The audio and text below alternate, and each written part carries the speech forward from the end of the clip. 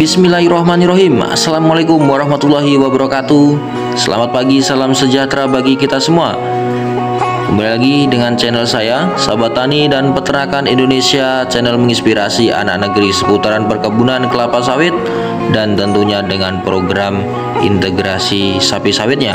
Teman-teman sahabat Tani dan Peternakan Indonesia Di video kali ini di kesempatan pagi hari ini teman-teman saya sedang berada di satu kelompok sapi program integrasi sapi sawit.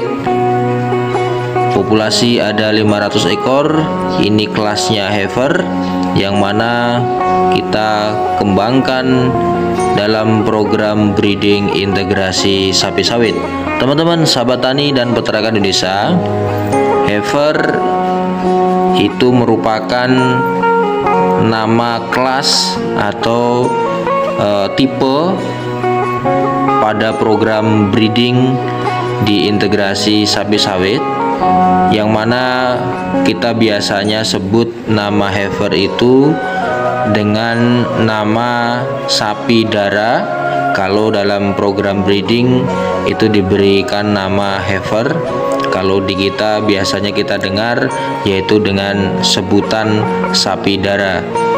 Sapi darah ini atau sapi heifer ini merupakan salah satu hasil dari program integrasi sapi sawit yang sudah kita lakukan sejak 2015 hingga saat ini populasi sudah mencapai 8.000 ekor sapi yang mana satu kelompok ini heifer merupakan dari e, beberapa hasil dari kelompok-kelompok yang kita kembangkan di perkebunan kelapa sawit kemudian kita pisahkan berdasarkan seksnya kemudian kita kelompokkan menjadi satu.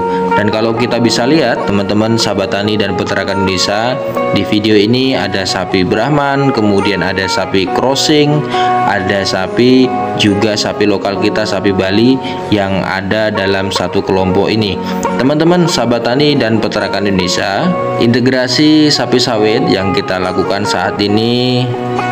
Ini kita lakukan di perkebunan kelapa sawit yang mana setiap hari sapi-sapinya akan berpindah ke blok berikutnya. Dan satu kelompok ini mempunyai grazing area atau area pengembalaan sapi. Totalnya ada 90 blok yang mana satu bloknya itu mempunyai luasan hektar 30 hektar dalam satu bloknya.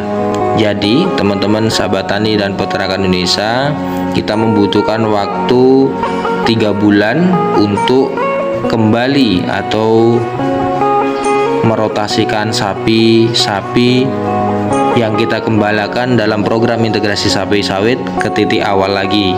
Yang mana rumput-rumput yang uh, atau vegetasi vegetasi rumput pada blok awal sehingga udah dapat tumbuh dengan baik sehingga sapi-sapi yang kita kembangkan tidak kekurangan hijauan makan ternak. Teman-teman sahabat tani dan peternak Indonesia, heifer-heifer ini sudah berumur kurang lebih ada satu tahun setengah hampir dua tahun yang mana nanti kita akan seleksi lagi kemudian kita akan kawinkan nantinya di Desember tahun ini. Harapannya sapi-sapi pertama kawin atau pertama meeting. Harapannya pregnant siret kemudian calving rate-nya bagus sehingga kita mendapatkan hasil anakan-anakan pedet atau winingan dari program integrasi sapi sawit sesuai yang kita inginkan. Oke, mungkin uh, demikian teman-teman sahabat tani dan peternakan Indonesia seputaran peternakan, potret peternakan breeding di program integrasi sapi sawit. Semoga apa yang saya sampaikan pada kesempatan kali ini pada pagi hari ini bermanfaat dan tentunya menginspirasi teman-teman rekan-rekan semuanya di mana pun anda berada. Dan jangan lupa selalu dukung channel ini agar channel ini tentunya berkembang. Terima kasih. Assalamualaikum warahmatullahi wabarakatuh